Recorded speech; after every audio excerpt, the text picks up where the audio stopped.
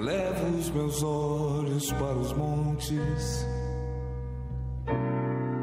de onde me virá o socorro. Senhor Jesus, foi o Senhor que afirmou tudo, tudo, absolutamente tudo é possível aquele que crer. E nós decidimos crer. Esta pessoa que recebeu o diagnóstico de uma doença incurável, que ouviu do amor da sua vida, eu já não quero mais estar ao seu lado, envelhecer ao seu lado. Esta pessoa que escutou do seu patrão, você está demitido, já não posso mais lhe manter como empregado. Esta pessoa que escutou de uma autoridade a sua sentença de condenação a anos na prisão pelos delitos que cometeu ou por uma injustiça que sofre. Ó oh, meu Pai, nós não sabemos qual é o problema desta pessoa, mas uma coisa nós sabemos: ele decide agora crer. Crer em Ti como a solução, o seu único Salvador. Então estende a tua mão agora e arranca esse tumor, essa infecção, esta bactéria, este vírus maldito que está destruindo a saúde desta pessoa. Arranca o encosto que está causando o vício das drogas, da pornografia, da promiscuidade. Seja o vício que for, que esse encosto seja agora amarrado e arrancado da mente, do corpo, do lar, desta pessoa que chora por ver a sua família separada pelas brigas, pelas mentiras, a violência, a traição. Este homem, esta mulher que sofre a dor da traição, arranca, meu Deus, o mal que tem feito esta pessoa perder tudo: trabalho, clientes, negócio, dinheiro, e agora está dependendo de uma cesta básica dependendo de uma ajuda do governo. Seja qual for o problema desta pessoa, desde o templo de Salomão, nós invocamos o teu poder. Diga, amigo, amiga, este nome, Jesus. E o mal é arrancado agora. Em o nome do Senhor Jesus, que todo mal do seu corpo, da sua mente, pensamentos de suicídio, separação, morte, que a angústia, a tristeza, a mágoa, diga: saia! Respire profundo, receba o livramento.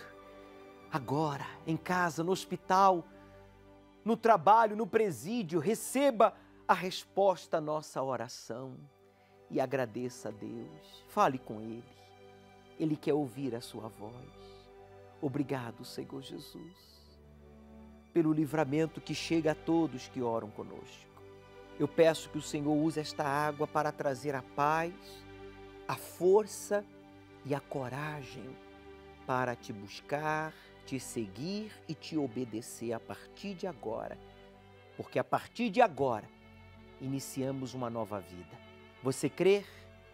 Então beba, participemos juntos desta água e receba a paz, pois Ele te perdoa mas receba também a força e a coragem para buscá-lo e segui-lo.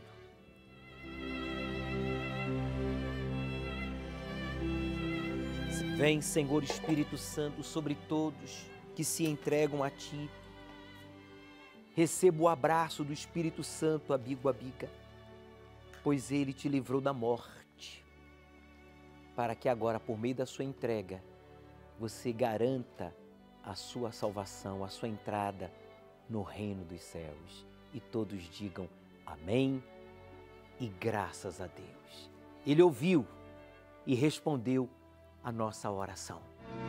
O Senhor é quem te guarda, é a tua sombra direita. Ele guarda a tua alma, te protege contra o mal. Ele guarda a tua saída, desde agora e para sempre. Nos últimos tempos, muitos são os motivos que têm feito o ser humano chorar perda do emprego, a impossibilidade de trabalhar, um familiar doente, não tem sido nada fácil. Você tem perdido suas noites de sono, chorando enquanto a sua família vem se destruindo. Mãe, sua vida tem sido de desgosto e sofrimento, mas chegou a hora de pôr um fim a tudo isso. Veja o que a Bíblia diz. Tu contaste as minhas aflições, recolheste as minhas lágrimas no teu odre. Não estão elas no teu livro?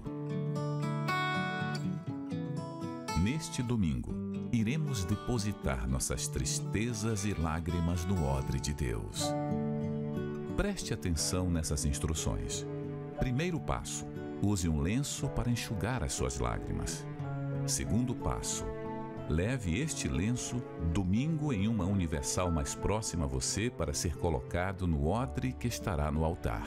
E pela fé, você estará entregando suas dores e angústias nas mãos de Deus. Neste domingo, a oração especial por todos os que choram. Às sete horas, nove e meia e dezoito horas, no Templo de Salomão ou em uma universal. As reuniões também serão transmitidas por esses canais. quando somos teimosos e resistentes às exortações, pedidos de mudança dadas pelo Altíssimo por meio da Sua palavra. Isso revela que o seu coração é duro, quer dizer, é orgulhoso, é desobediente. E por essa razão, alguns se afastam de Deus pela dureza do coração. É importante, amigo, amiga, que você saiba que quando somos resistentes às instruções sagradas, nos tornamos, então, extremamente sensíveis ao erro, ao pecado, a fazer o que não se deve. E nisso você se afasta daquele que pode lhe perdoar e salvar, o único que pode lhe dar um coração novo, que significa uma vida nova, e esse é o Espírito Santo. Por isso, Domingo agora, no Dia das Mães, nós vamos continuar realizando o Domingo da Purificação. É importante que você traga uma garrafinha com água para que você faça uso desta água nos primeiros sete minutos aqui da Vigília do Espírito Santo para a sua purificação e você receberá um novo coração. Neste domingo, vamos estar honrando a nossa mãe espiritual. Eu pergunto, o que você já fez pela sua mãe que lhe colocou no mundo? Certamente, algumas coisas, muitas coisas, ou talvez nada. E o que você fará pela sua mãe espiritual que lhe colocou no colo do nosso Pai que está nos céus?